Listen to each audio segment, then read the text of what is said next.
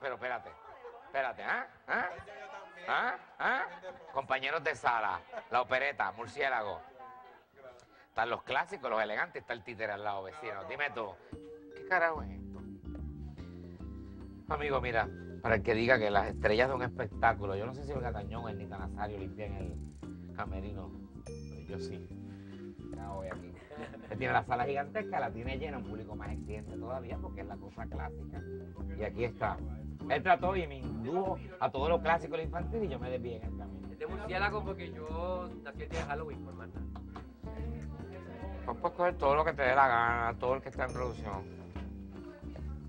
Alguien se murió gordo, pero.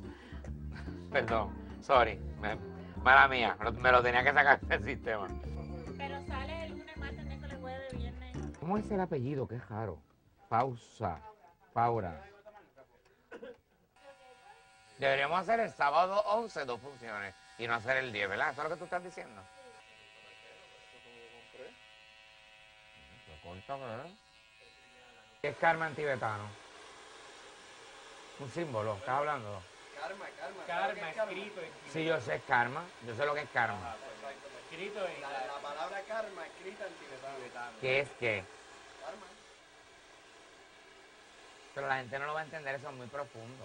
Yo me haría fuck you en tibetano. Cuando la gente pregunte, ¿qué dice? Fuck you en tibetano, y eso llega más. Pero dice a cualquier ser humano común y corriente, es karma en tibetano, es capaz de decir, ¿qué es karma? No le digo, eso es fuck you en tibetano. Esta es mi transformación. Esto es como una. Paso de feo, feo, feo, feo a regular. Paso de horrendamente feo a regu. Y con la luz que me van a poner a frente me veo cool. Hasta ahí llego, hasta cool. Y es que tú estás cabrón, tú eres feo como... Ay, yo estoy claro que yo no soy lindo, pero soy bufiado. Yo sé que a mí no me queda mucho en esto, yo estoy claro. Yo quiero volver a actuar, eso es lo que me, lo que me llena realmente. Y en algunos años después volver a hacer esto. Vamos a ver, round, este es el último round que doy y me fui.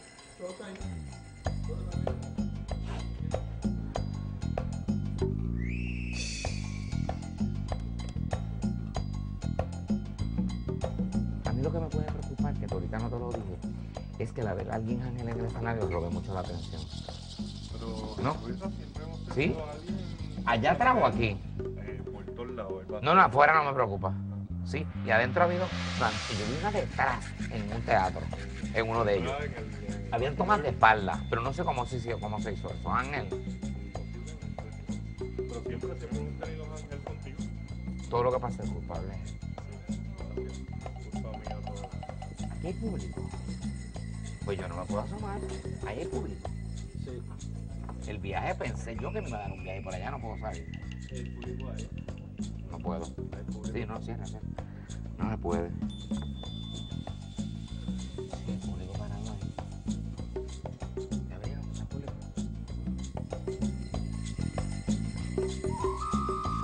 Pues, esto es lo que me queda del bizcocho. A ver si puedo salir por acá. Uy, qué frío pelú. Flaco. Frío pelú. A ver si puedo salir por allá, ¿ya abrieron? Dime. A la guagua, con la cámara. y- ¿Qué tú quieres de esto? ¿Pero qué es esto? ¿Quién va a decir esto? Yo pienso que eso. Yo, yo quería hablar de esto porque yo pienso que esto pone como a la gente en predisposición de que me están grabando. Y yo pienso que si yo se lo digo cuando empiece y me lo gustó como lo hago yo, es más informal. ¿Qué ustedes opinan al respecto? Bueno, háblalo con Rafa. No lo pasó para adelante porque como este es el cuarto y nunca se ha hecho disclaimer. Ahora yo tan pronto me paro antes de buenas noches. Pero- pero- Estamos grabando. Pero vacila con esto. Tú sabes. Eh, sí hay que en la, la producción, pero a mí me parece tan serio. Es la noche de darle gracias a muchísima gente. Antes que nada, tengo que hacer un disclaimer. Rafa Muñiz me dio un disclaimer escrito de que se está grabando esta noche. ¿Vieron cámaras por ahí, verdad?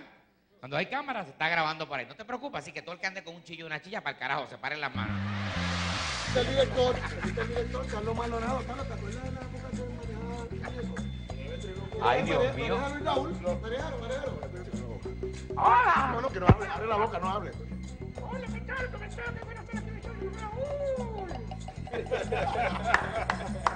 ¡Ay! ¡Ay, puño! ¿Te jodiste? No. ¿Dónde me di? Acá. Bueno, esta, ¿qué hace esta silla aquí? O sea, esta es la silla de los muertos. Aquí se murió. ¿Cómo se llama? Mira, mira. Mira, para colmo. Ponte una curita bien cool. No hay curitas de esas que tienen diseño. Yo creo que hay curitas. Tengo un karma de caídas, huesos. ¿Tú sabes qué? Una psíquica me dijo que yo me iba a caer. Sí. Y que tenía que tener cuidado mucho con caídas y cosas. Eso es karma. Cuando la gente pregunte, ¿qué dice fuck you en tibetano? Y eso llega más. Pero eso a cualquier ser humano común y corriente es karma en tibetano. Es capaz de decir que es karma. No le digo, eso es fuck you en tibetano. Mi madre, eso es karma ahora que es moderno lo del karma. Mi madre hoy día tiene las patas flojas. Carmen, ¿Tú oído eso? La chucha tiene las patas flojas, se pasa cayéndose. ¡Ay, puño! ¿Te jodiste? Bendito, me di cuenta ahora lo que mi mamá cuando se cayó.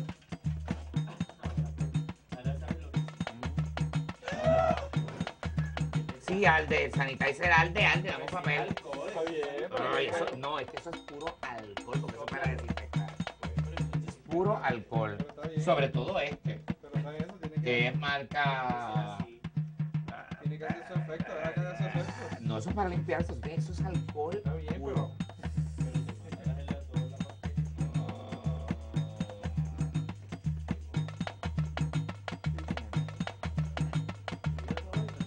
Sí, ahora me lo maquillo porque no me puedo tener un moretón en cámara. Mi madre también se cayó. What's, what's wrong with this picture? No, ¿sabes? Las divas de este país, o sea, tú no puedes grabar a Nazario a la Tañón así. ¿Ah? A nadie. Ay. Y tengo faja, me di la canilla, me caí todo, Dios, pero hay que trabajar, ¿qué vamos a hacer?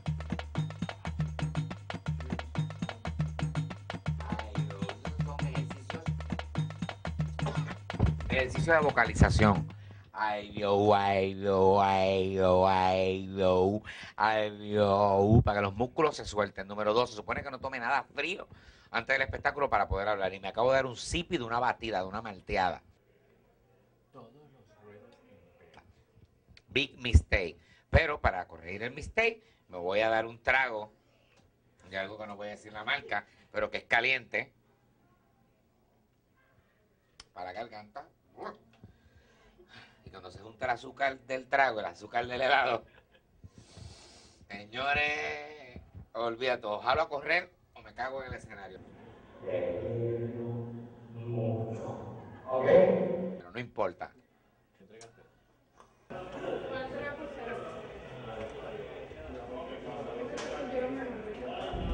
Ya no hay vuelta atrás. Ahora o nunca. Showtime.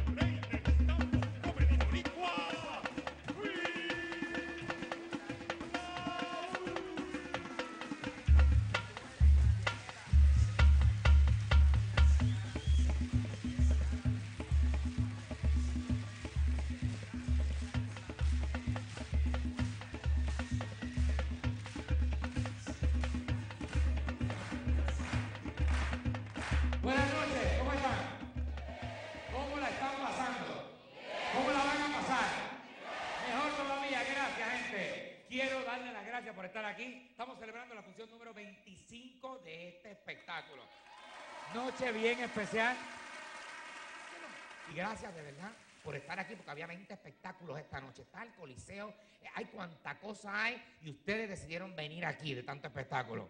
Mierda es que este es el más barato. Ustedes creen que yo soy pendejo. Este es el espectáculo más barato que hay. Hoy me lo voy a sacar todo el sistema para que quede grabado. Yo soy el, el tipo, el, el pendejo más barato de este país, se llama Luis.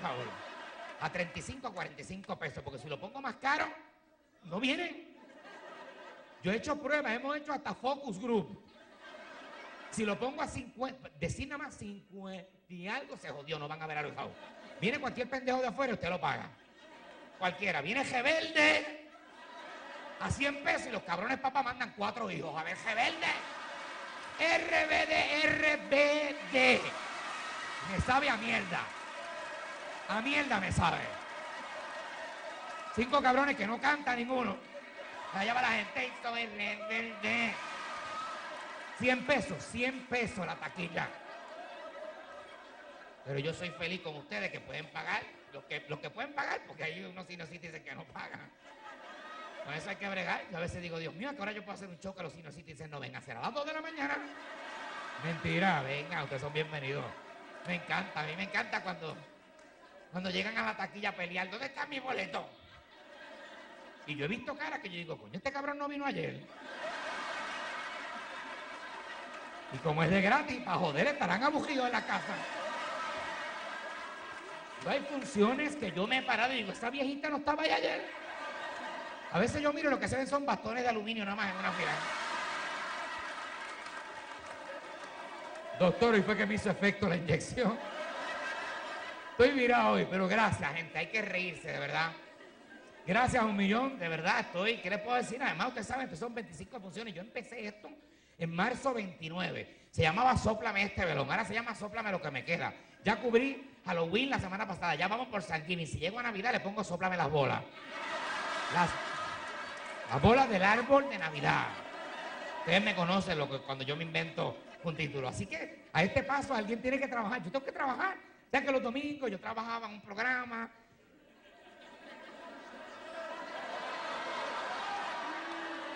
A mí no me parece gracioso. Usted sabe que lo quitaron para el carajo. Yo tengo un karma, es una cosa, o sea, programa que yo como, programa que me votan o que se jode. Silverio me demanda para el carajo, me votaron para el carajo. Dicen Casa Luis Raúl, me votaron para el carajo. Copa que te lo goce, llegó Grisel y me acabó de clavar. Karma, pero él, la pasamos chévere, nos divertimos. Ustedes saben que esto es solo para adultos, además está que se lo diga. Así que, damas y caballeros, vamos a disfrutar. Aquí no hay ningún niño, ¿verdad? Si hay un niño, tendrá 21 años de edad cuando ya acabe de hablar esta noche. ¿Estamos claros? De verdad, de verdad, hay que pasarla chévere. El país está tan chévere, tan tranquilo. Hay tanta paz que hay que divertirse, de verdad. Yo estoy tan contento porque cuando empecé a hacer este espectáculo, y voy a hacer un recuento rápido porque estamos a fin de año. Yo empecé a hacer este espectáculo en marzo 29. Y cuando yo arranqué a hacer el espectáculo, este país se viró al revés. Yo no sé si era yo que arrastraba la energía, pero el país se viró. Yo estaba enfermo, me acuerdo como ahora, yo siempre me enfermo antes de hacer un espectáculo. Yo creo que es emocional. Me dolían los músculos, se me trancó no sé qué, me dieron una diarrea. Y yo por no hacer nada de ir al doctor, llamé a un amigo doctor, el doctor me dio unos percocet y me dio Imodium para la. Eso es lo que yo llamo un combo agrandado. Nunca te metas percocet con Imodium. Porque anda, te da como un arrebato, cabrón, el percocet. Y la Imodium te tranca. Y nada peor que andar arrebatado con el culo cerrado, ¿eh? Perdóname. El que se ha metido percocet sabe que te da como, que te metes Imodium y no. Y lo peor de todo, que estás arrebatado, te dan ganas de ir al baño y se te olvidó que tomaste Imodium y estás como un pendejo en el inodoro media hora dormido con la percocet. Dice, ay carajo, yo estoy estreñido. Pendejo, se te olvidó que te metiste un imodio. Así yo estrené este espectáculo. Y me acuerdo que yo me enajeno el día antes de los espectáculos, me enajeno de la realidad para poderme concentrar, pero la nota era tan grande que me quedé dormido. Y pongo el televisor ese día a las 5 de la tarde, las noticias, mala decisión. Y fue cuando empezaron los problemas de este país. Me da la impresión que en marzo para acá fue que empezó todo. Yo prendí el televisor y vi la reyerta aquella que se formó en el Capitolio. ¿Se acuerda? Que rompieron hasta el cristal de la Constitución, se metió todo el mundo. Y en mi nota de Percocet, yo no sabía qué estaba pasando. Yo abrí los ojos y dije, diablo, un golpe de Estado. Pensé yo en mi nota de Percocet. Yo me imaginaba bajando al gobernador a cantazo limpio nu por las escalatas, la escalinata del Capitolio. ¿Ah? Es una cosa impresionante, pero no, No, era mi nota. Era mi nota, señoras y señores. Pero mi preocupación cuando yo aquella reyerta era que era lo que estaba pasando. Y de momento oigo el nombre de Julito Labatú. Digo, ¿qué carajo pasa con Julito Labatú? ¿Qué tiene que ver este con el gobierno? Ese no es el de las flores. ¿Y de qué carajo dice este cabrón? ¿Habrá mandado un arreglo que habrá explotado en el escritorio de alguien? Señoras y señores, yo ahí fue que empezó el cambio de este país para siempre, ¿verdad? Yo me acuerdo y dije, coño, yo si estoy enfermo me tengo que meter medicina. Yo no quiero volverme a meter medicina cuando ya crisis en el país. Porque toda esa semana yo me estuve metiendo medicina y empezó la crisis. De esa semana para abajo nada cambió. Nada, todo era crisis, crisis, crisis. El gobernador abrió una cajetera, la- esa cajetera nueva, la ruta 66, la ruta de las iguanas, como yo le llamo. Que está cabrón, yo no había ido, pasé el otro día por primera vez, están los fósiles de las iguanas por todo el expreso. Ese hombre abrió esa carretera y el día que el gobernador, honorable gobernador, abrió la carretera, había otra protesta sacándole el dedo al gobernador. Usted puede protestar, pero hay que respetar. Yo en aquella nota, porque yo estuve en nota toda esa semana, veo aquello que la gente le está haciendo así. Y yo, ¿qué carajo pasa ahora? Creí que era un homenaje a la estatua que está frente al Capitolio. ¿Ustedes la han visto? Que hay una estatua que está de... Y dije, coño, yo no me puedo meterme más medicina. Yo no puedo meterme más medicina. Mira, mi preocupación el día de la reyerta fue que rompieron el cristal de la Constitución. Y eso me preocupó. Porque yo me asusté y dije, ¿se habrán robado la Constitución? Y mi miedo era, aquí, aquí pasa de todo. Esto es Disney sin Mickey Mouse. Y yo mi miedo era que Tito Calla, que estuviera cerca, metiera la mano, se robara la Constitución, la reescribiera completa, se fuera a la Estatua de la Libertad, se trepara en la antorcha y dijera, esta es la nueva Constitución para que me lo mame. Pero no, gracias a Dios, no se robaron, pero se rompió el cristal. Hay que tener cuidado, gente. Uno puede protestar, pero tiene que tener cuidado. De ahí para acá, el país ha sido una crisis y el ser humano, el boricua, ha ido enfermando su cerebro. Todo el mundo ha enloquecido de ahí para acá, de marzo para acá. Yo lo mido a lo largo de que yo he hecho este espectáculo. De ahí para acá la gente enloqueció. Todas las portadas, todas las primeras planas eran de locuras y locuras. Así, así yo he vivido esta temporada completa. Mira, un día me levanto y está el cabrón de la grúa, que se trepa en la grúa cada jato. Y yo me levanto un día, está trepado una grúa, yo pensé que era otro tipo. No, era el mismo. El mismo cabrón que había cambiado de grúa. Yo, pero espérate, si ese tipo se trepó en el Hilton y sabe que es ilegal, se va a matar. No, se mudó para Américo Miranda. Donde está nuestra oficina. Y yo, pero ¿cómo es posible? Pero con la diferencia que la grúa la movieron y el cabrón quedaba colgando encima del expreso. Ah. Ahí era distinto. Ahí era distinto porque cambió la imagen del tapón que tenemos todos. Mire, usted siempre le tiene que ver el lado positivo a las cosas. Ese cabrón nunca se cae en una grúa. Walenda se jodió en una más chiquita en el Condado Plaza. Y era experto y se dedicaba a eso. Yo he visto obreros ganándose el pan nuestro cada día que han resbalado y se han jodido. Ese cabrón camina. Mira, traemos un hamburger. Arriba con, con jugo de China. Arriba. Espérate una cosa. ¿Cómo es posible? Entonces él cambió la imagen que uno tiene de los expresos, la imagen que uno tiene del tapón, porque la gente va en diabla en el tapón en este país. O sea que la gente va en el tapón loco por matarte. Y de ahí en adelante la gente cambió. La gente en el tapón, debajo de la grúa, iban con una mano guiando, la cabeza por el carro así. Lo saludaban y todo.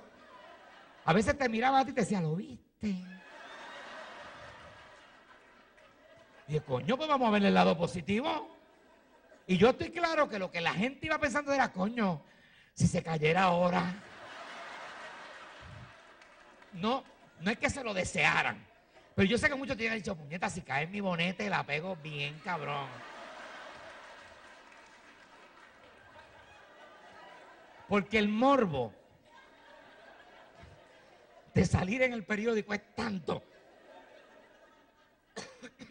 Y así sucesivamente, las portadas han sido crisis, crisis, crisis todo el tiempo. Un reguero en este país todo el tiempo, señoras y señores. De ahí para acá el gobierno no es lo mismo.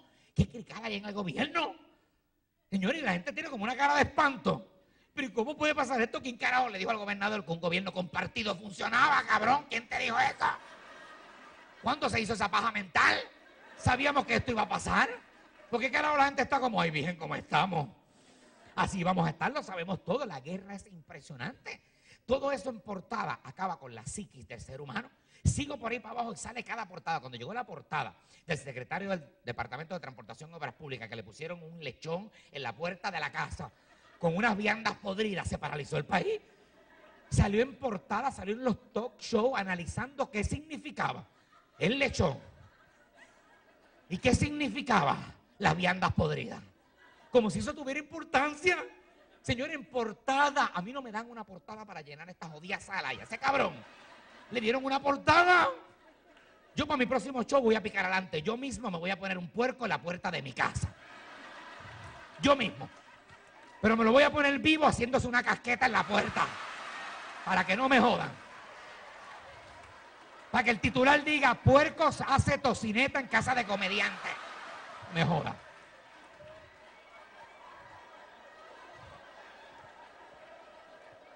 Como si no hubiera cosas más importantes que analizar en este país. Una portada vale un billete, hay que saber a qué se le da una portada. Y eso es lo que afecta, es la mente del boricua. Estamos enfermos, gente. Nos reímos, pero estamos enfermos porque todo nos afecta. Y así siguió, así yo me zumbé esta temporada. Y la verdad que yo soy un héroe. Hasta de hacer reír en medio de esta pendeja que pasó. Y sin darnos cuenta, un día en medio de mi temporada, el gobernador vino, ¡guay! Cerraron el gobierno. Cerraron el gobierno. Yo como a los tres días fue que dije, el gobierno está cerrado. A mí me tomó como tres días darme cuenta que vivía en un país que no tenía gobierno.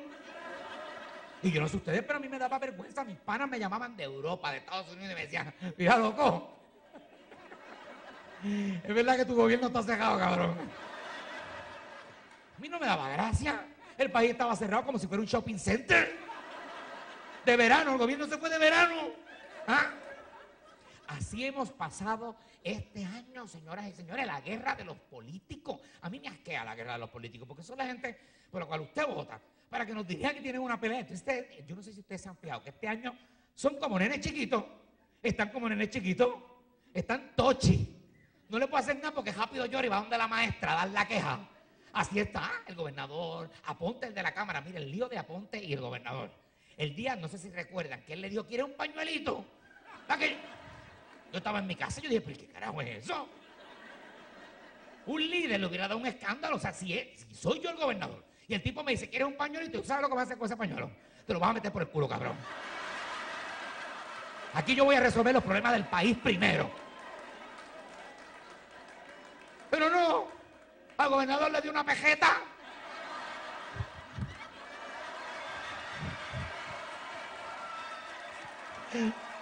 Aponte me está molestando.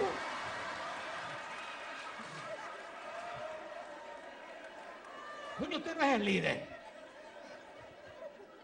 Usted Rosselló pendiente para joder en cualquier liga. Porque está escondido y sale el cabrón cuando menos tú te lo esperas. A clavar a alguien. Siempre sale a clavar a alguien. Es, es brillante. Dí- Díganlo, es brillante. El día que yo vi que Rosselló le dijo a las iglesias, vamos a eliminar tres mandamientos. Yo dije, esto se jodió. Tres mandamientos, no importa la iglesia que usted vaya. Con la fe no se juega. Y yo, ¿cómo carajo este tipo va a eliminar tres mandamientos? Y dije, espérate, espérate. Espérate un momento. Espérate, un momento. Déjame chequearlo, dame la lista. Déjame chequear esos diez mandamientos de nuevo. Dios, qué cabrón. Encontré rápido los tres que él quería eliminar. No blasfemarás. No codiciarás los bienes ajenos. Y no robarás. Y como es el Mesías, el cabrón lo borró él mismo. Este no va, este no va y este no va. Si cualquiera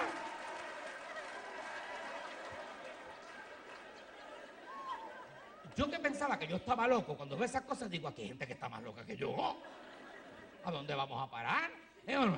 Así que yo con todo este año decidí emprenderla por ahí para abajo y tratar de reírnos, porque señoras y señores, estamos mal, estamos mal. Si tú no te coges estas cosas dentro de los serios que están y tú le sacas partido para reírte, nos vamos a enloquecer. Porque esto es 100 por 35. Yo siempre he dicho que esto iba a ser un continente. Siempre. Y cuando Dios vio que íbamos a ser tan cabrones, lo picó. Dijo, leña, eh, vamos a hacer una islita porque estos cabrones se quedan con el mundo. 100 por 35, no pare más. Si estamos regados por todo el planeta, vamos para... no sé. El otro día yo estaba escuchando que hay 4 millones de boricuas viviendo afuera. Y yo, yo caí de jodillas a orar. Y dije, papá Dios, que no se les ocurra regresar. 4 millones afuera. Y de 4 a 7 me echo dos horas hasta Guaynabo, puñeta. Con medio millón que regrese, me voy para el carajo. 4 millones. Así que vamos a pasarla bien. Aún así arranqué. Celebramos hoy la función número 25 de esta locura. En el in-between fuimos afuera, fui hablando Tampa. Acabamos de llegar de Fort Lauderdale, fui a trabajar afuera. Y quiero compartir esto con ustedes porque hay que irse. Al ser isla, hay que irse, hay que salir en avión. Yo detesto los aviones, los odio. A mí no me van a gustar nunca. Yo pensé que eso se quitaba con el tiempo. Nunca me van a gustar. Y tú tienes que viajar y la alerta esa que le meten ahora gracias a esa cosa malvada llamada terrorismo ha chavado el planeta, señores y señores. La alerta roja, naranja, verde, fucha, el color que le quieran poner. Tú vives aterrado, se llama terrorismo porque te siembran eso, terror. A veces es mentira casi todo, pero tú estás aterrorizado. Entonces usted va a viajar, coño, mire, el boricua de verdad es clase aparte. Usted va a viajar, coño, coopere con las reglas. Al boricua no le gusta seguir reglas. Usted tiene que ir al aeropuerto ahora y hay reglas desde que te bajas del carro, no jodas, siga las reglas. Pero el boricua no. Llegas a ese checkpoint y vete todo. Se llama checkpoint. Punto de chequeo porque te van a chequear. ¿Cómo quieres que te lo expliquen? El boricua para joder. Hace lo que le da la gana. El boricua se va a ir de viaje, señores y señores. Tú sabes que te chequean, te chequean hasta los zapatos. Te tienes que quitar los zapatos. Yo no sé si ustedes no han viajado desde cuándo. Pero hay que quitarse los zapatos, coño. Pues viaja en mocasines, sandalias, apalgatas. ¡No! ¡No! El boricua para joder. Va con botas hasta aquí. Amarrar con cordones hasta aquí. Te jodiste, perdiste el vuelo. Tienes que ir cuatro horas antes porque, coño, no siguen reglas. Coño, ponte cómodo. Aparte que si, si tú te tienes que quitar el zapato, yo iba en una de las conexiones que hice, un señor se quitó los zapatos frente a mí. Y cuando yo vi aquello, su uña del dedo gordo llegó primero al checkpoint. Y media hora después llegó él. Dice, coño, si tú vas a viajar, córtate las uñas. Obviamente aquella uña salía por un sunroof que tenía la media. Si yo trabajo en seguridad, yo no lo dejo pasar. Porque eso en cualquier liga es un arma blanca. Una pata al piloto era una puñalada. Y yo veo aquello y digo, coño, yo vi de todo. Usted ve todo en el checkpoint. Siga regla. Mire, tiene que quitarse todo lo que suena, todo, quíteselo todo. Y las mujeres, sobre todo, con el respeto de las presentes, que hay una moda que yo creo que es africana, 14 pulseras en cada manga. En cada mano, 14 pulseras. ¿Ah? Y llegan esperan al checkpoint y le dicen al tipo, mira, me las tengo que quitar. Porque son oro y el oro no suena. Cabrona, es fantasía barata. Quítate las jodidas pulseras. Quítate las fucking pulseras si son fantasías. Yo vi una tipa que yo venía detrás de ella, le digo al tipo, mira estas bolitas dormilonas, son oro 18. Y yo que vengo detrás veo aquella mancha de cobre en toda la oreja. Y yo, loca, quítate la jodida pantalla. Eso retrasa y le amarga el viaje a los que vamos detrás que estamos siguiendo reglas. Mire ese checkpoint, señoras y señores, hay una máquina ahora nueva, yo no sé si ustedes pasaron, que yo le llamo el car wash, que tira como un spray. ¿Y qué carajo es esto? Me tocó hace poco por primera vez. Y tú ruegas que la luz verde que cambie. Porque si cambia, se queda roja, te jodiste. Y eso es para ver si tienes pólvora. Saben todo lo que tú llevas encima. Droga. ¿Cómo la gente viaja con armas? Con droga. Y usted sabe de lo que le estoy hablando. Hay gente que viaja y se mete la marihuana aquí. No, yo me la he hecho ahí. Digo, te- hay perros guardianes en todos los aeropuertos. Y el perro, para el que no lo sepa, está entrenado para seguir un comando. Si es de droga, el perro va y cuando encuentra lo que busca, ladra una sola vez. Y hace ¡wow! Y se queda ahí mirándote. El perro y todo el aeropuerto se queda mirando. Si tú intentas moverte, en dos segundos tienes una bola menos. El perro no te va a hacer nada, pero no le lleves la contraria. Entonces, coño, es tan difícil seguir instrucciones. ¿ah? Y uno, el carry-on. Se llama carry on, porque tú no puedes cargar. Carry on. Carry on. Chiquito no pesa. Y el boricua, para joder. Parece que echan transmisiones de auto allá adentro. Y traen el tamaño que es, pero soplado. Se montan, sabiendo que las zapatas son unas bichas todas. Hasta que una zapata se atreve a decirle a un puertorriqueño, excuse me. O sea, que las putas son antipatiquísimas todas. Excuse me. A un boricua. El bulto no cabe. ¿Qué bulto no cabe allá arriba? El mío. Dame un minuto. ¡Pa!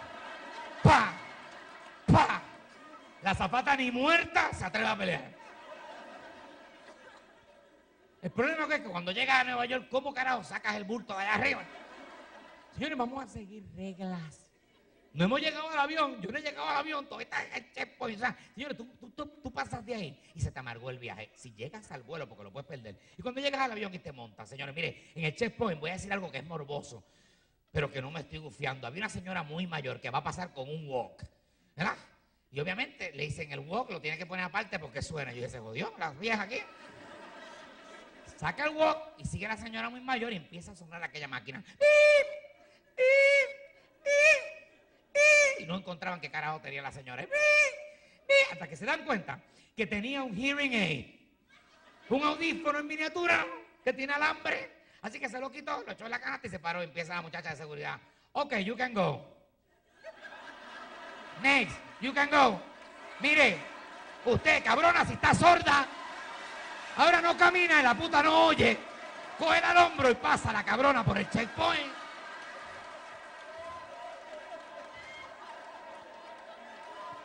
No me estoy burlando, solo veo yo cada rato.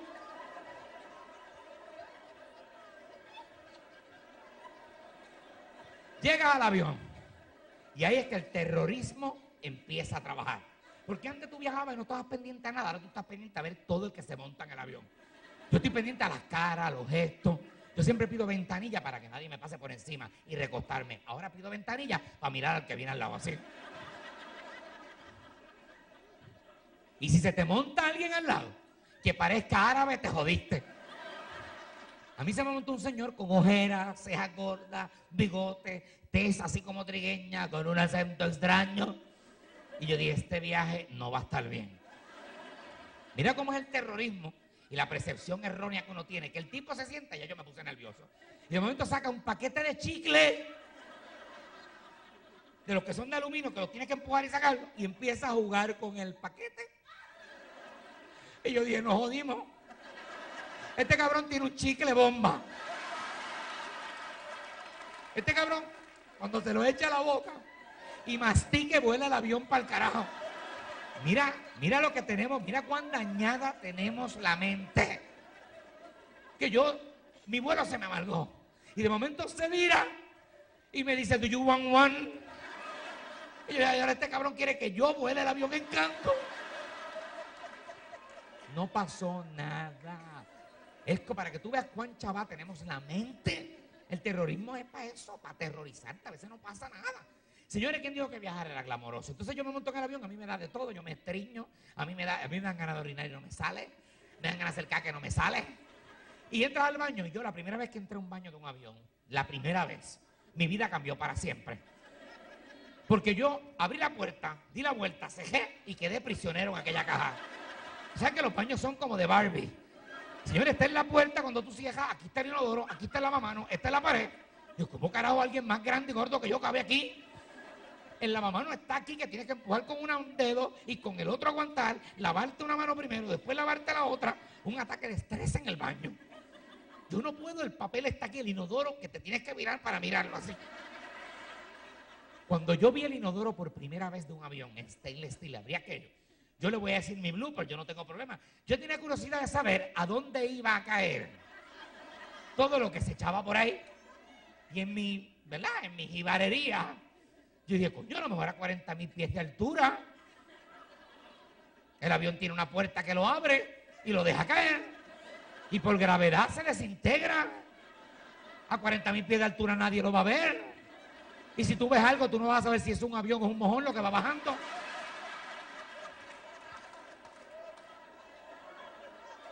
Admito mi blooper y veo aquella cosa en stainless steel y lo bajo. Cuando yo bajé aquello, señoras y señores, yo oí el sonido de aquel inodoro que hizo.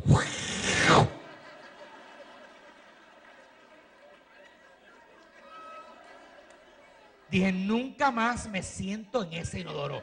Nunca. Cuando he tenido emergencia me siento así como en cuclilla. Que es el espectáculo más cabrón que puede pasarte en tu vida. Que tú estés en cuclilla y que de momento prenda el jodido timbre y diga, vuelva al asiento. Vuelva al asiento. Turbulencia. Una turbulencia que te coja con los pantalones hasta aquí. Y aquello a punto de salir. Tomar una decisión de si haces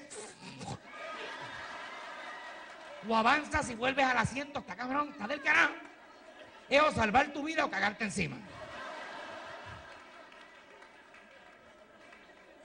Sea la madre de los aviones 20 veces. Señores, no se puede, el espacio no da. El papel está en esta pared, que tú tienes que cogerlo con este y pasártelo a esta. Y te pasando. Y de aquí pasártelo a este. Y enrollarlo de la manera que tú puedas. Y aprenderte la ruta, porque no puedes mirar hacia atrás, porque no cabes casi. La ruta de memoria, porque tienes que regresar. Alguna gente viene a chequear de nuevo. ¿Qué hay? Ya, perdón. Perdón, ¿verdad? Pensé que esta noche nadie chequeaba. Así no se puede viajar. Es mejor pegar el fondillo a la pared y limpiártelo con la... ¿Quién dijo que era glamoroso? Pero vivimos en una isla y sin aviones no podemos salir de ella. Así que llegué allá a la Florida a trabajar, a seguir reglas. Estoy hablando de las reglas todo el tiempo porque de verdad al boricua se le hace tan difícil seguir reglas. Tan difícil, tan y tan difícil. Y llegan afuera y de momento se adaptan. Yo estoy en shock como mis amigos que viven afuera están adaptados. Todos siguen reglas. Llegan aquí y se les jode el cassette. Yo alquilo un carro, me monto con un amigo, empiezan a regañarte. Mira, cógelo suave. Ese no es el límite de velocidad. Cuidado con el paseo. Si viene la policía, la ambulancia, los bomberos, todo el mundo se separa y ellos pasan. Y yo, cabrón, ¿será aquí? En San Juan, cuando una ambulancia suena por ahí mismo, que uno coge pon.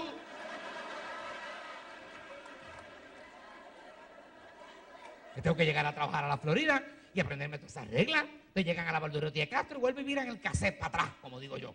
¿Ah? Las reglas a seguir allá afuera son peores, sobre todo las de cuando hay desastres ecológicos, desastres naturales. Por ejemplo, me dijeron, Luis Raúl, lo más importante en la Florida es que te aprendas que aquí hay huracanes, tornados y cocodrilos. Ajá. Y para cada una hay una regla. Mira, si viene un huracán, depende del área, a veces tienes que evacuar el área.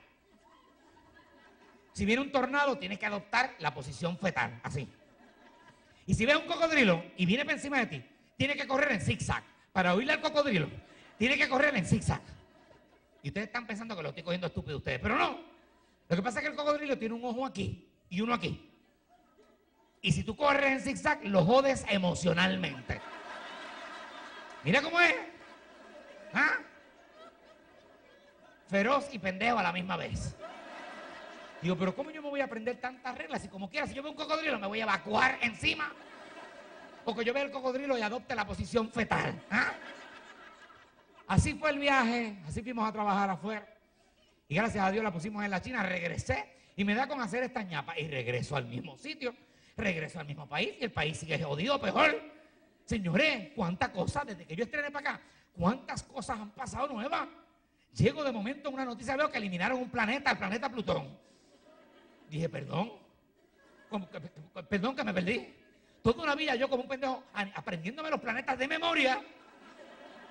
Tú sabes que da trabajo.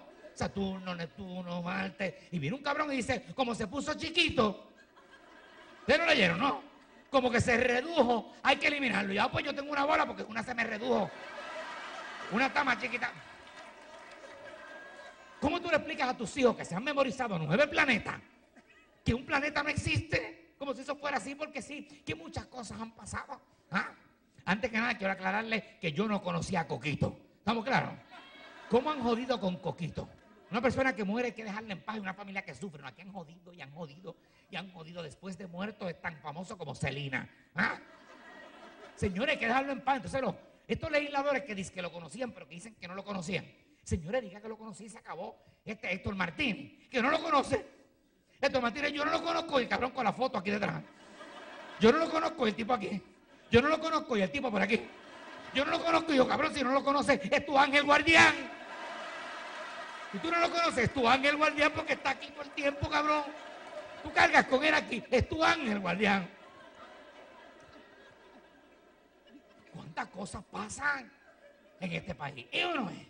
Una detrás de la otra. Esto es un nicho. Parece que estaban aburridos con el video 59, que duró casi un año. El video 59, el video más anunciado y el menos visto. ¿Cuántos de ustedes vieron el video 59? Nadie. La única copia la vio Norma Burgo. Puñeta, pues mandame una copia.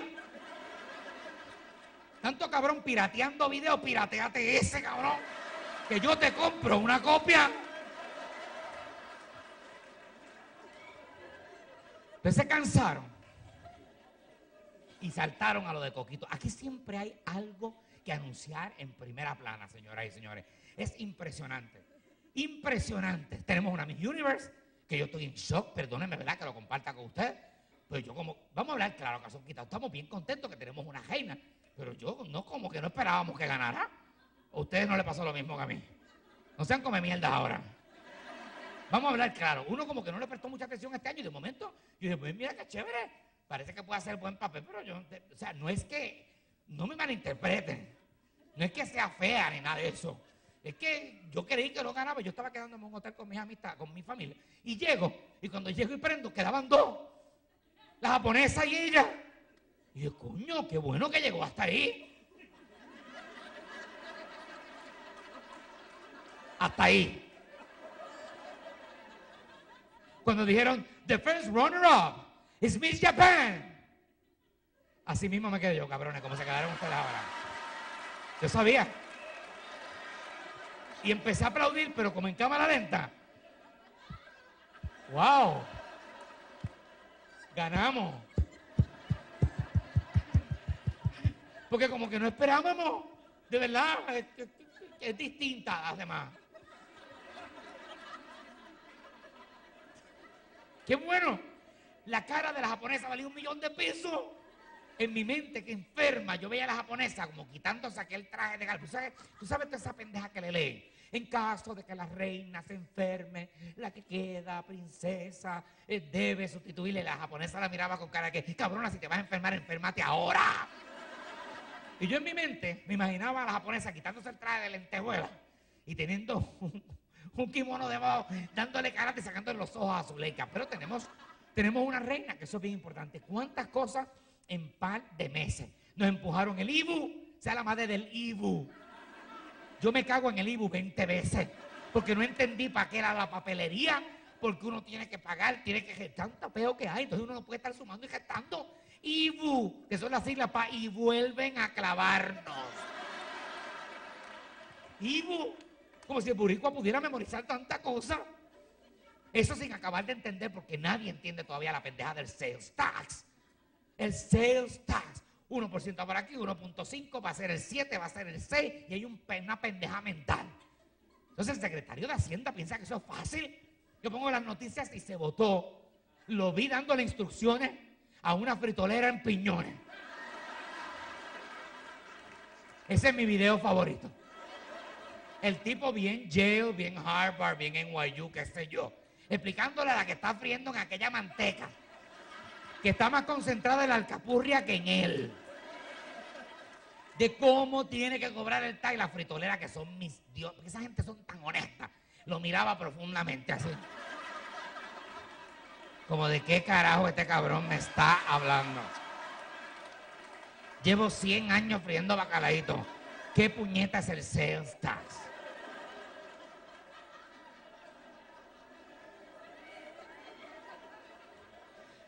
Cuando él terminó de explicarle, ella se convirtió en mi ídolo porque se miró y le dijo, bueno pues, yo pondré una lata que me echen el tax aparte. Mi ídolo. Ella fue mi ídolo en ese momento. Fácil, yo no me voy a complicar. El, el tax es para ti. Lo recoge cabrón, después pasa y te llevan la lata. Genial. Que viva Piñones, que viva Piñones. La madre que se haga Piñones. Señores, eso no es así de fácil. Yo fui a la escuela, yo me gradué con cuatro puntos y tengo una pendeja que me da hasta migraña cada vez que empiezo a calcular. ¿Ah? además el tax, el tax no es el problema de lo que me van a cobrar extra. Usted tiene que ver los problemas adicionales que trae. El tax nos jodió la vida, porque ha vuelto a nuestras vidas algo que yo odio, que se llama menudo. Yo me cago en el menudo 20 veces. A veces salgo de mi casa y parece que tengo tres bolas, una aquí, una aquí y la de aquí. Todo sueno como un cajito de palco, con los bolsillos llenos de menudo. Odio el menudo. Hay menudo en la palanca del cambio, en el carro, en el dash, en la gavetita, aquí, en mi bulto. Si vas para el aeropuerto te clavaste en el checkpoint. Se ha traído un problema. Yo no sé a ustedes, yo les voy a explicar los míos que me ha traído el sales. Vas por la calle, los deambulantes están al acecho. ¿Tú sabes los deambulantes? Te tocan el cristal tú dices, mira, no tengo, ahora no puedes. Porque los cabrones saben que en alguna parte de tu fucking carro hay menudo. Y a mí dos veces, aunque usted no lo crea, me han tocado en el cristal y le digo, papá, no tengo. Me dice, jaja, chequea, cabrón, chequea.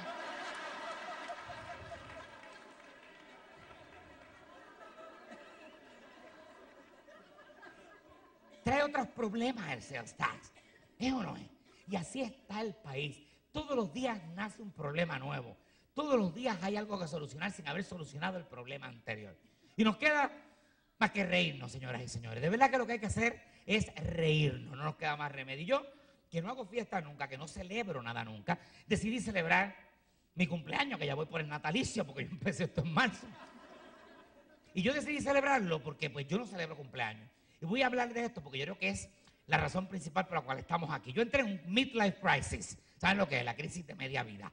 ¿Qué es crisis de media vida? Pues que ya te sientes que estás mayor, te miraste en el espejo un día y sin darte cuenta, eres un señor mayor. Y te sabe a mierda. ¿Cómo te das cuenta que estás en crisis de media vida? Porque quieres verte joven, quieres verte nuevo, te, molesta la juventud de cualquiera, te jode. A mí me jode de verdad esta pendeja de la gente joven, te jode, te jode, te jode, porque como ya tú no tienes esa edad, tú te miras en el espejo y dices, diablo, porque ya yo no tengo esos años. Y entonces este ritual a la belleza, toda esta pendeja me saca de tiempo. Me saca de tiempo, señoras y señores, porque la gente quiere ser bella y es un ritual a la belleza. Y cuando uno no tiene esos atributos, te jodiste. Estos jóvenes de 20 años de edad y 6 pies de estatura con el six pack, me jode el six pack. Me encojona que me digan, ¿tienes six pack? No, cabrón, yo tengo un padrino. Las mismas onzas en otro envase, cabrón.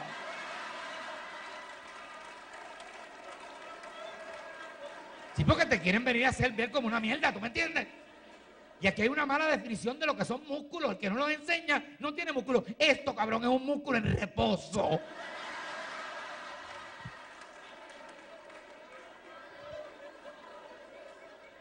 ¿Tú te das cuenta? Te das cuenta que tienes un problema de midlife crisis. Y dije, pues coño, déjame sacármelo. No voy a ir al psiquiatra porque cuesta 100 pesos la hora. Tú sabes, mejor me busco a 700 que vengan a 35.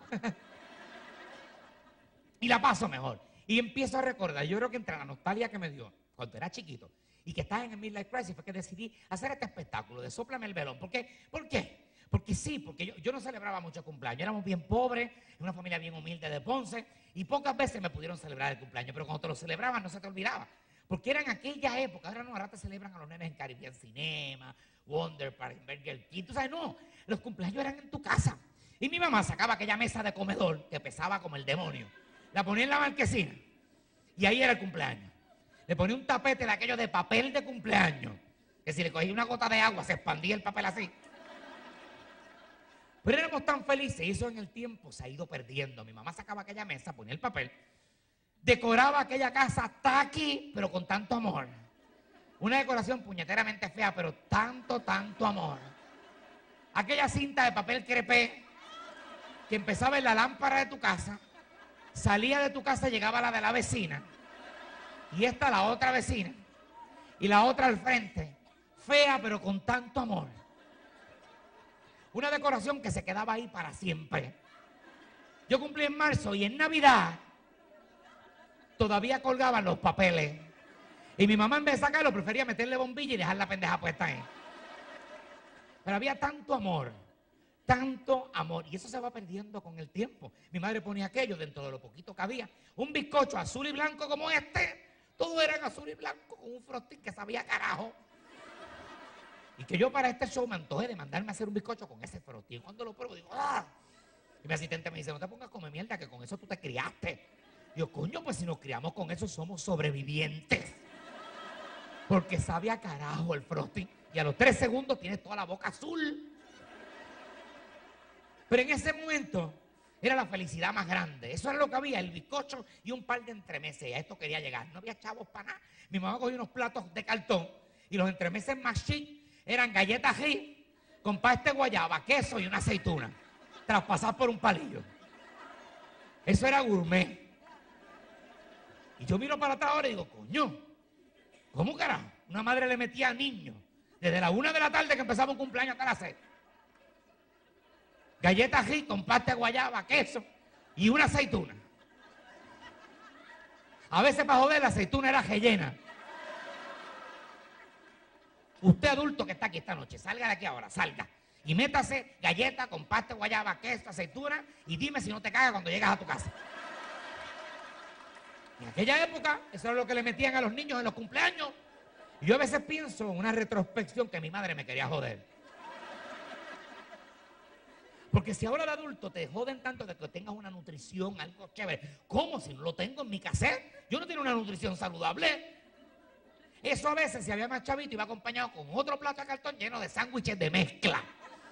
Qué rico los sándwiches de mezcla.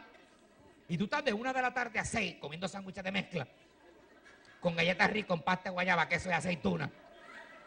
Y estás aquí hoy, cabrón, sobreviviste. Como yo. Somos sobrevivientes. Sobrevivientes, eso no tiene otra palabra. Y eso no se bajaba seca, había que bajarlo con un bull. En una bulera, mi madre echaba un pote grande de jugo de piña, un pote grande de jugo de uva, una 7 y un pote costel de fruta para bajar los sándwiches de mezcla con la galleta. Somos sobrevivientes. Y uno, pelaba, uno peleaba las pescosas como no me echara fruta en el vaso. O sea, que yo me echaban eso y lo primero era que hacía, que miraba así. Porque a mí me gustaban las cherry y los melocotones. Para el carajo, quédate con la piña. A mí nunca me gustó eso. Entonces yo miro para y digo, coño, qué lindo era. Era una dieta descojonada, pero era lindo el cumpleaños. Yo creo que eso te hace entrar en ese midlife crisis, que echas de menos eso, lo poquito que me celebraron. Era tan chévere. A veces, si había más chavito, mi madre decía, nos vamos a votar este año. Hay comida, voy a hacer comida, porque tu país trabajó overtime. Voy a hacer jamón con piña. Jamón con piña.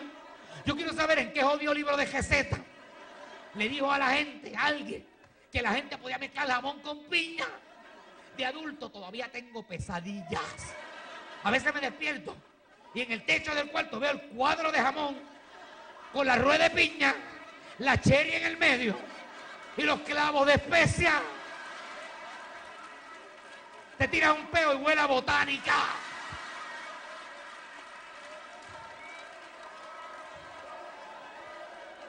Ahí es que yo digo, tu padre te quería joder.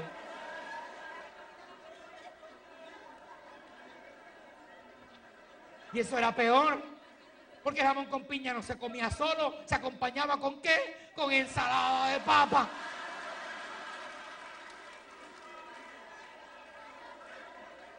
No me malinterprete. No me malinterprete porque a mí me encanta la ensalada de papa. Lo que pasa es que como el cumpleaños siempre era a la una de la tarde, la preparaban como a las 10 de la mañana. La servían como a las 3 o 4 de la tarde. Y cuando te la servían, la manzana estaba como media brown. Y tú decías, coño, se botaron, le echaron canela hoy. Azúcar negra. No era que se estaba empezando a podrir la manzana. Y así tu madre te la empujaba en el cumpleaños. Con eso yo confirmé que mi madre siempre trató de envenenarme.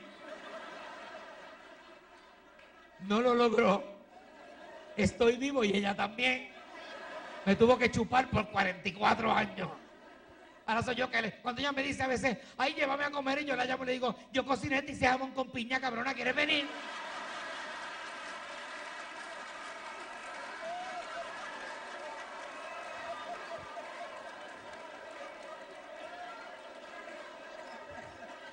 Qué linda esa época. Pero no acaba ahí. No acaba ahí. Porque faltaban los dulces. Mi mamá ponía unas canastitas plásticas que parecía una sombrilla GB con dulce. No era cualquier dulce. Ella ponía un bloni, una bazooka y un Mary Jane. Y yo, pero prende una cosa. Si la maestra y el dentista te están diciendo que no comas chicle, que dan caries, y tu madre te empuja los chicles de los Mary Jane en el cumpleaños, y el boricua no iba poco a poco, no, el boricua coge y se mete el bloni aquí, la bazooka aquí, y el Mary Jane en el medio. Rogando que el Mary Jane estuviera blandito. Porque si el Mary Jane estaba duro, tus dientes de leche los perdías en ese momento. Y caigo lo de los dientes de leche porque eso también me trae nostalgia. Porque qué, qué época linda donde se te cae el diente y te vuelve a nacer. Ahora se me cae y te lo tienes que poner postizo. Quizás no te lo explican en el camino. Yo me acuerdo porque no había Dios que me sacara un diente de leche.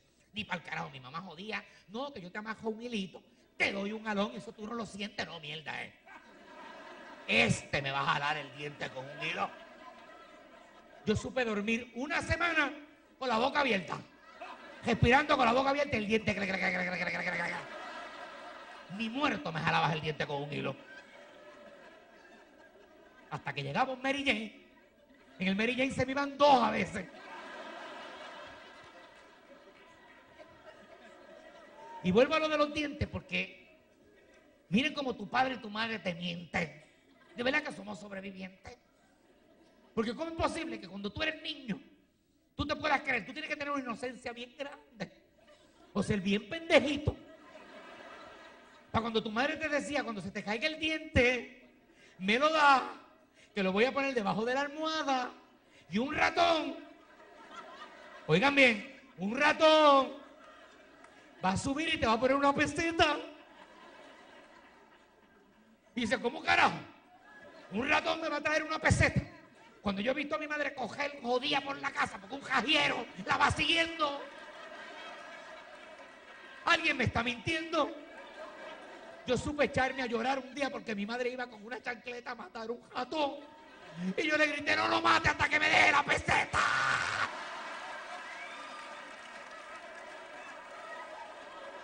¿Te confunden? ¿Sabe lo que me dijo mi madre? Esa es otra clase de ratón. ¿Tú ¿Cómo quieres que crezca saludable? ¿Cómo que quieres que crezca sin mentir? Si tú creces en la mentira, ¿ah? ¿Es no es? Y esa época, ahora que cumplí esta edad, 44 años, no es que sea ningún viejo, pero tú sabes, uno yo soy un alma vieja, lo que dice un alma vieja. Y cuando eres chiquito y eres teenager, lo de alma vieja te da hasta estatus. Ahora de mayor, el alma vieja, soy un anciano. Yo tengo 44 años, aunque el registro demográfico diga cualquier otra cosa. O la madre registro demográfico 20 veces. Antes tu papá, tu mamá, tu tía, tu abuelo nacían. Y los inscribían cuando se acordaban. Mi abuela murió de 92 años. Dice ella. Y un día antes de morir me pongo a hablar con ella. Y con las historias que ella me hizo. Y esta cabrona mínimo se tiró a Juan Ponce de León. Ella no puede tener 92 años. Porque el registro tú nacías ahora y te inscribían 10 años después. Ahora no, ahora tu computadora, tú naces. Yo creo que desde que te votan por ahí, enter, una ficha. Fecha, lugar y hora de nacimiento. ¿No puedes mentir? Y cuento todas estas cosas porque de verdad que esa es la crisis que te da. Yo creo que es una mezcla de recordar versus lo que estás haciendo ahora o dónde estás ubicado ahora. Mira, las fiestas de cumpleaños, de verdad, a mí las sorpresas no me gustan. Nunca me gustaron las sorpresas. Detesto las sorpresas. Eso de tú llegar a tu casa, abrir la puerta y todo el mundo sorpresa y tú con esta cara de pendejo que pones. No me gusta. Y menos en sitios públicos y restaurantes. Detesto ir a esos restaurantes, chile y todas esas cosas que tú llegas y acá está todo el mundo happy birthday. Si te tardas hora y media, te mamas como 10 cumpleaños.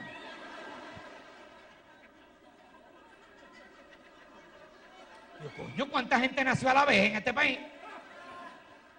Miren si tengo mala suerte para eso, que decido por primera vez este año aceptar una invitación de Rafa y la esposa a comer un restaurante chino bien chic que hay por mi casa, no voy a decir el nombre.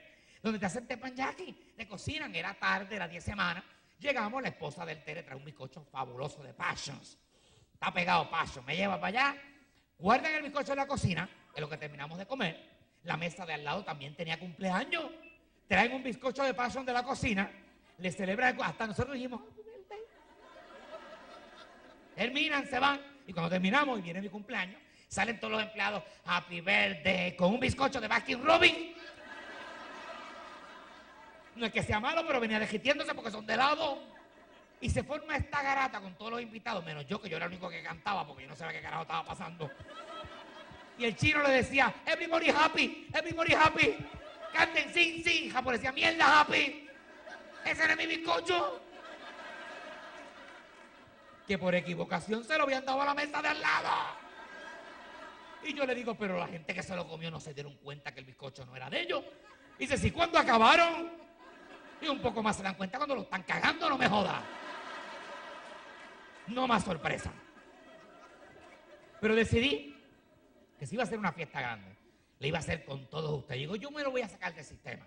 Voy a sacármelo del sistema con mi gente, voy a hablar con mi gente, yo lo voy a hacer la única fiesta grande. Nunca vamos a hacer un show de cumpleaños. Porque este año lo he estirado y lo he estirado. Pero le he pasado divino porque ya me quité toda esa presión de la midlife crisis. Pero ¿qué pasa? Te voy a explicar. Cuando tú empiezas a sentir eso, el problema más grande es que quieres volver a ser joven. Y esto no tiene retroceso. La juventud está aquí. Ustedes han escuchado eso 20 veces, que la juventud está aquí. Y cuando tú eres joven, tú piensas que te lo dicen para consolarte. No, hombre, no. La juventud está aquí, en la actitud. Pero no todo lo podemos controlar y no empieza a tratar de sentirse joven. Y empiezas a hacer arreglos. Por ejemplo, bueno, pues yo voy a empezar a rebajar 20 libras, me voy a poner como coco, voy a hacer dieta. Es la primera parte que uno busca siempre para verme más joven. Y a mí me jode, porque todo tiene que ver con el jodido peso. ¿Cuál es la obsesión con el peso?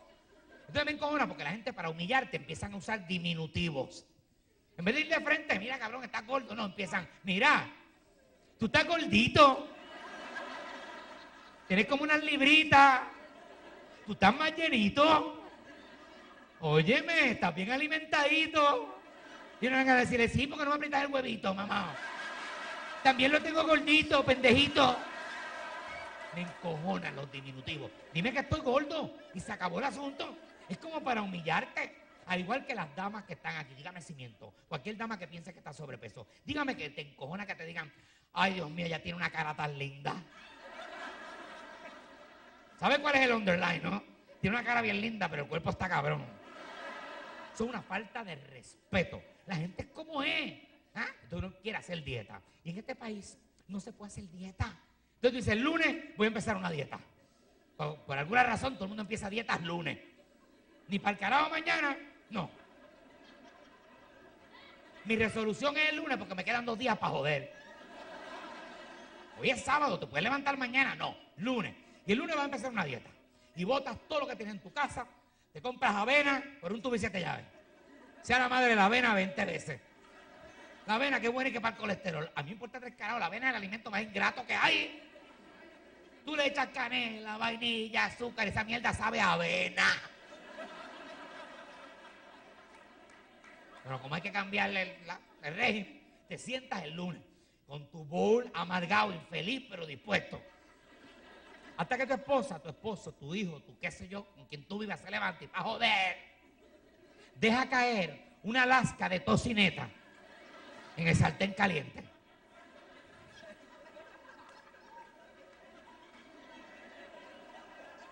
La tocineta tiene un poder tan grande que jode cualquier fuerza de voluntad. Tú estás concentrado en tu avena y la tocineta empieza a sonar.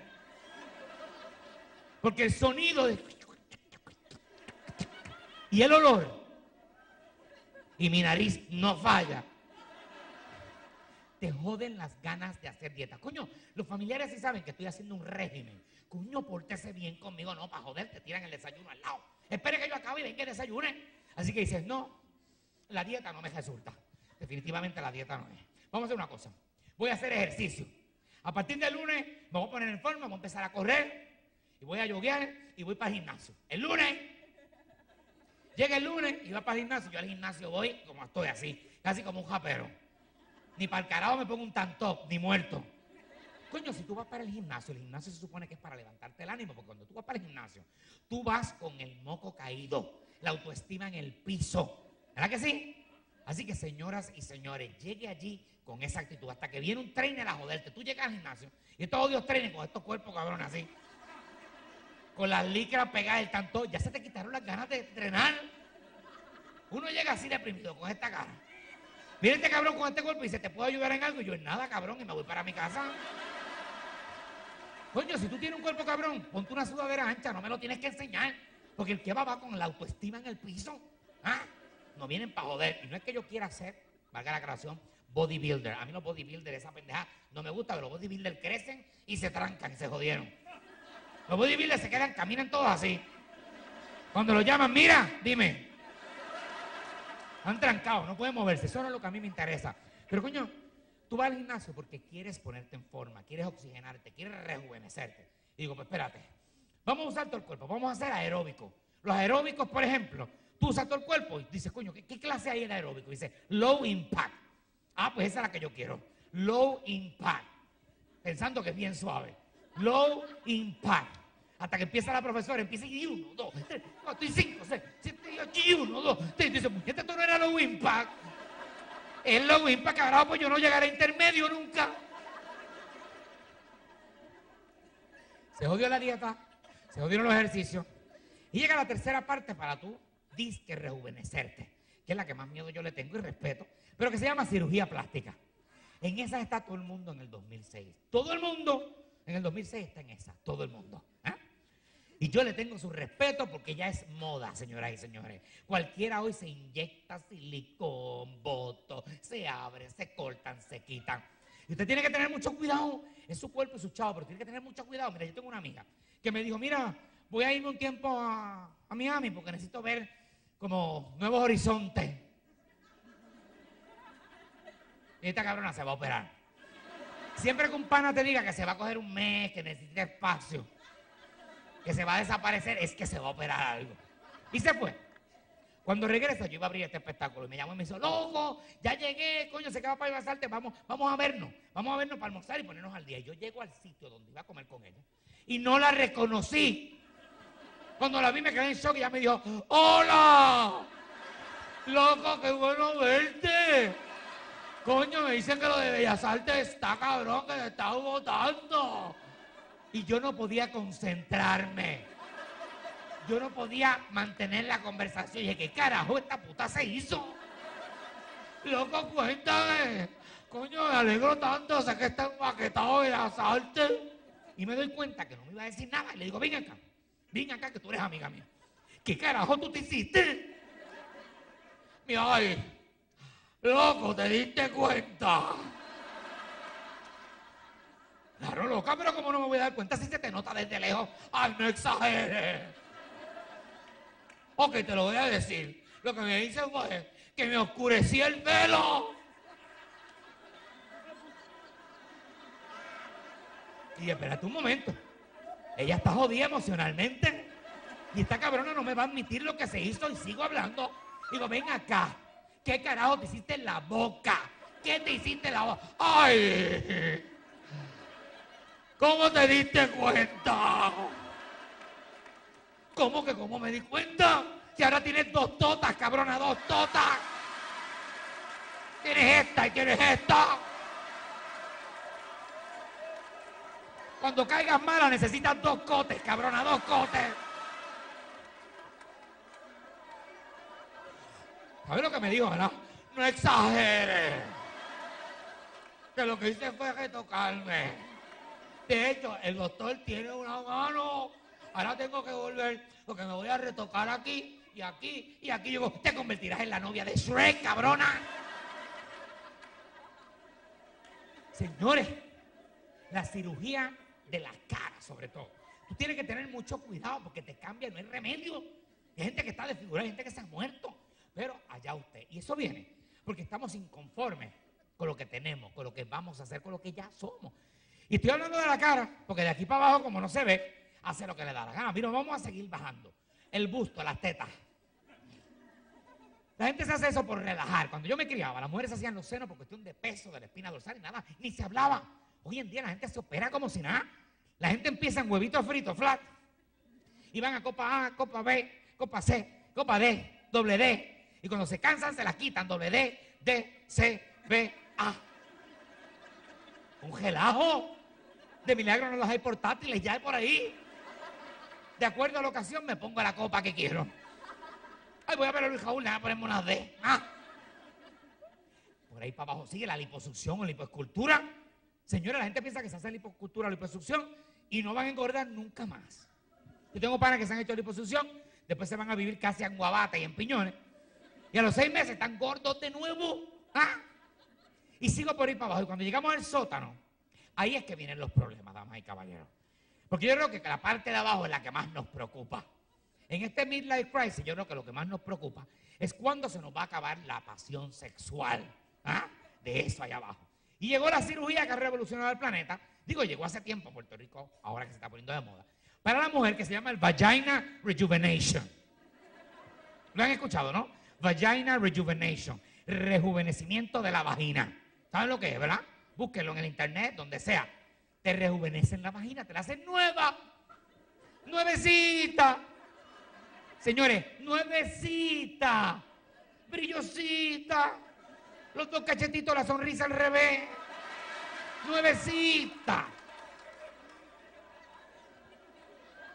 Y yo me espanto porque usted no envejece por parte. Usted envejece parejo. ¿De cómo tú te vas a poner esos nuevecitos? Y el gesto está que no lo puedes ni mover. Ni ver, ni oye, ni nada, pero esos nuevecitos. Y yo me pregunto, ¿cómo puede vergar una señora bien mayor que vaya y se haga esos nuevecitos? Llega a su casa y su marido, que debe ser mayor todavía, la está esperando. Loco por ver aquellos nuevecitos. Él con el del bien viejito. Porque para el varón no se han inventado nada. Él tiene que bregar con lo que hay. Y imagino que ella llega y se quita la peluca, se quita los lentes, se quita las cajas de dientes, se quita el traje, el jefajo, la pantaleta. Y cuando le enseña aquellos nuevecitos, al viejo le pasan una de dos cosas. O muere en el acto, o como el líbido le dura más al varón hasta más años. Usted sabe que cuando vayamos a llegar a esa edad, esto se nos pone como una iguana. ¿Saben que para vamos todos, no? Como una iguana, con cresta y todo hacia atrás. No jodan que para ahí vamos todos. Es una iguana lo que se nos forma ahí. ¿Te has visto una iguana? Así se comporta. Yo me imagino que el viejo se le levanta aquella iguana cuando ve aquellos nuevecitos. Un y se comporta. ¿Has visto la iguana que usted le echa lechuga y ella se... Yo me imagino la iguana tratando de entrar a aquellos nuevecitos. Espectáculo cabrón. Señoras y señores, yo creo que en la crisis de media vida llegamos a esa parte que nos preocupa mucho, que es esa, la sexual. Y aunque yo dije que yo no iba a hablar más de sexo, que yo no quería hablar más nada de sexo, siempre la gente me dice, coño, toque, tócate algún temita de sexo. Y yo, no, pues yo hablo de sexo siempre, que hable otro. ¿Tú me entiendes? No, que a la gente siempre le gusta, aunque sea un chispito el que está en el escenario, que le diga algo. Yo, que voy a decir un chispito. Imagínate si a la gente le encanta el sexo. Que ustedes han hecho un silencio cabrón, mira. Se ha quedado la sala como, wow. Ahora es que viene la bellaquera bien rica. El sexo es un tema que debería tocarse de la manera muy normal. Señores, se formó un peo porque había un libro en instrucción pública que era de sexo y lo tuvieron que quitar. Que los niños que a los 5 o 6 años muy temprano, ¿a qué edad le va a hablar de sexo? Si en este mes han salido preñadas varias de 10 años, tiene que enseñárselo a los 4 o 5 años. De una manera profesional, claro está. Así que el sexo, señoras y señores, es la cosa más normal. Lo que pasa es que todos estos depredadores sexuales no tuvieron la dicha de nosotros de tener una educación sexual saludable. Y el resto lo aprenden en la calle. ¿Hasta cuándo le van a mentir a los niños? ¿Hasta cuándo le van a decir a un niño que la cigüeña trae un bebé? Tú tienes que ser bien pendejo. Va a pensar, si vives aquí en Santurce, que la cigüeña va a venir un momento volando y en el pico trae un pañal con un hermanito para ti. Que baje aquí a la Ponce de León. Que venga la cigüeña y se pare en la Ponce de León a dejar un bebé que lo que deja el bebé la hacen pincho en cinco minutos. Mire, háblele claro, qué miedo explicarle al niño cómo se hacen los bebés. Entonces no se lo explicas tú y lo aprenden de la peor manera. Van a la escuela y allí es que lo aprenden de la peor manera. Siempre hay un gordito pecoso, cabrón. Siempre. Que es el que tira al medio todas tus ilusiones. Yo me acuerdo, yo tengo un amiguito gordito pecoso, cabrón, hijo de puta. Yo tengo una sola hermana y el día que le dije con tanta ilusión, viene una hermanita y la cigüeña me va a traer una hermanita, me dijo, pendejo. La cigüeña no existe, eso fue tu pai y tu mai, cabrón.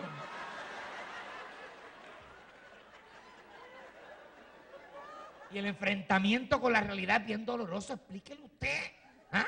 Así que vamos a hablar de sexo, porque esta noche yo traje el Kama Sutra Boricua para compartirlo con todos ustedes. No completo, mira cómo se afilan los dientes. Pero se lo tienen que ganar. Vamos a hacer una cosa, vamos a convertir esto de aquí en adelante en un talk show. Yo soy Nancy Álvarez, vamos a ver quién tiene la razón. Si los archienemigos. Si no, no comparto el Kama Sutra. Yo quiero hacer unas preguntas para que ustedes se liberen y me las contesten. Para que usted vea que esto es cuestión de la pasión sexual. Es responsabilidad suya. Si se pierde la pasión, usted, el que no come en casa, va a comer afuera. Así que no se queje si hay un chillo una chilla. Yo no estoy defendiendo la chillería, pero la pasión le toca a usted. Yo voy a hacer unas preguntas y ustedes me las contestan. Esto es un talk show y este es el momento de ustedes.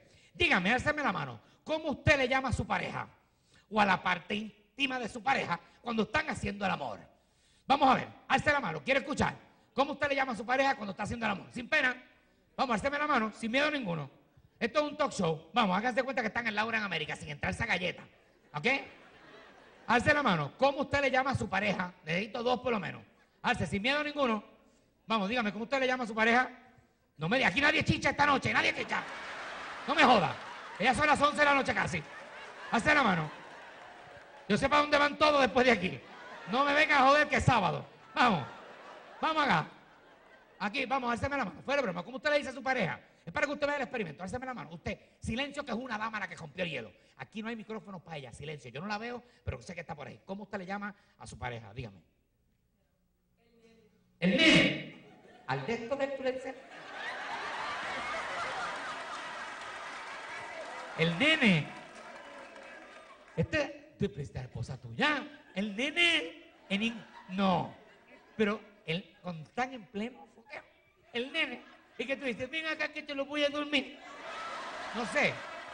Para yo imaginarme. Ven acá. Ven acá que lo voy a lactar. ¿ah? Van a durar 200 años. ¿Tú sabes por qué? Porque usted tiene que ser responsable de la pasión. Usted tiene que inventar. El sexo no es nada malo. El sexo es algo bien bonito. ¿Te imaginas? Yo me digo, nene, ese nene es mío. Ese nene se porta mal. Ah, te está portando mal. Te portaste mal. No te pares, siéntate. Usted tiene que inventar. Tiene que inventar, señoras y señores. ¿Quién más? Una mujer pico no me, no me defrauden, varones. ¿Cómo usted le llama a su pareja? ¿Cómo usted le llama a su pareja? Vamos, varones, no me defraude, si no, no les enseño el Kama Sutra boricua. Pareja, ¿dónde está? Varones, aquí un varón. Dígame usted, silencio, que no hay micrófono para él. ¿Cómo usted le llama a su pareja? Silencio. La torta. La torta. A la de esto. La torta. Pero la torta no significa chavos hoy en día. La torta no es la que se reparte. No repartas la torta tuya. Ella le va a dar esta pela esta noche. A decir, torta mierda vas a comer hoy. Por atreverte a alzar la mano, so cabrón. 200 años vas a durar también con ella. Porque usted tiene que inventar y juegan esto, yo me lo imagino. Qué lindo, tortita, tortita. Tortita de manteca. Qué pela te van a dar, cabrón. Te va a quedar sin torta hasta el año que viene. Usted tiene que ser feliz. Usted es responsable. Responsable es usted de la pasión. ¿Y qué llegó? Llegó a Puerto Rico el Kama Sutra Boricua. Que no es otra cosa que un manual de instrucciones. Y ese fue el problema. El Boricua no sigue instrucciones, yo lo dije al principio. Y que un manual para enseñarme a mí a meter mano, a hacer el amor. El Boricua no lee instrucciones. Ahí fue que se jodió la gente y empezaron a joder con el video. ¿Ah? Mire, el Boricua es el único ser humano que va a montar algo y no lee instrucciones. Compra un armario, un wall unit, un tablillero y lo saca de la caja. Lo pone aquí todas las piezas y pone el papel de las instrucciones aquí. Que trae números, rayitas, dibujos, todo. Coge las instrucciones y las bota para el carajo. Ahí pone un six-pack de cerveza. Y aquí está el World Unit. Y coge el Unit y lo monta completo sin leer las instrucciones. Se retira, lo pega a la pared y quedó cabrón. Cuando mira bien, le falta una pata al Unit. Y quedó tan cabrón que no cojea. El boricua es el único que le faltan piezas y queda cabrón el Unit. El boricua va a comprar un home theater, un equipo de sonido, que trae cables como el demonio, abre todas las cajas y las pone aquí. Y las instrucciones para el carajo. Monta el equipo completo y le sobran cuatro cables. Y aún así suena cabrón.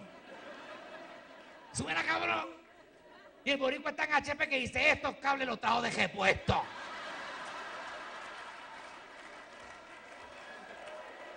Ni para el carajo admite que le sobraron. Y eso pasa con el Kama Sutra boricua, señoras y señores. Eso es lo que pasa con el Kama Sutra. Y yo voy a compartir en este momento. El Kama Sutra no es otra cosa que no sé cuántas posiciones sexuales para que usted las practique. Yo saqué las 10 que a mí me llamaron más la atención y las voy a compartir con ustedes. Para ver el guille que van a decir todos ustedes, ah, esa posición yo la sé hacer. Para carajo. Así que vamos a empezar. A ver qué trae el Kama Sutra boricua. Primera posición, señoras y señores. Vamos a verla ahí. El sapito empajuchado. Ay, mira eso, qué lindo. Miren bien. Porque sé que están diciendo esta mierda la hago yo. Tú tienes que tener una condición física. Imagina este. Ay. Dame esa torta y ella ahí, sapito. Aquí está. Sapito, aquí está tu torta para que les pachuje.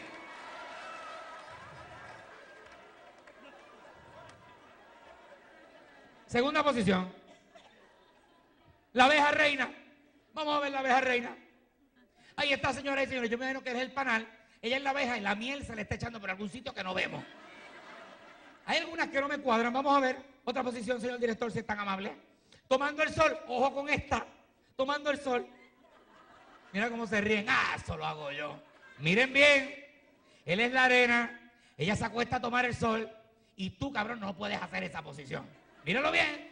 Míralo bien. Ella está inclinada. Y así que eso va para adelante. A menos que tengas un machete al revés, cabrón. No lo puedes hacer. Ahora para que se fijaron, ¿verdad? Eso lo hago yo. ¿Ah? ¿Ah? Próxima posición, señor director, si es tan amable. El enchufe. Vamos a ver qué hay en el enchufe. Ah, en la misma posición que ya sentada, se ve. Sigue eso funcionando. El enchufe, cabrón, otro problema. No ofrezcas 220 si no llegas a 110. Próxima posición. La trompa de elefante. Yo no sé dónde rayos se sacan los nombres. A mí esto no me cuadra. No vemos ni el elefante, la trompa subimos. ¿Dónde está? ¿Ah? Vamos a ver la próxima. La tabla de lavar que ya no se usa, señoras y señores. Hay máquina de lavar y secar, ¿cómo es? ¿Se acuerdan la tabla de lavar con jabón azul cuando yo me criaba? Yo imagino que tienes que inventar y él le está diciendo, mamita, te voy a dar una enjuaga.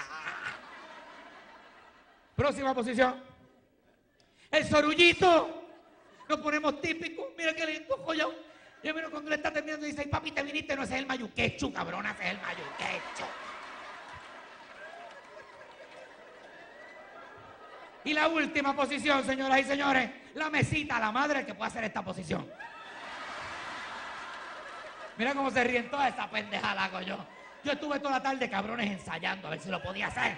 Y no es que hagas la mesa, cabrón, es que culé, cabrón. Que no se te olvide que si tú eres la mesa, ella es el florero. Y si el florero pesa, te jaja la mesa en dos. Muchísimas gracias, gente. Buenas noches. Coño, gracias por el apoyo. 25 funciones para la historia. Gracias por decirle que sea la risa. ¡Que viva Puerto Rico! Gracias a los de arriba. Buenas noches, hasta siempre, gente.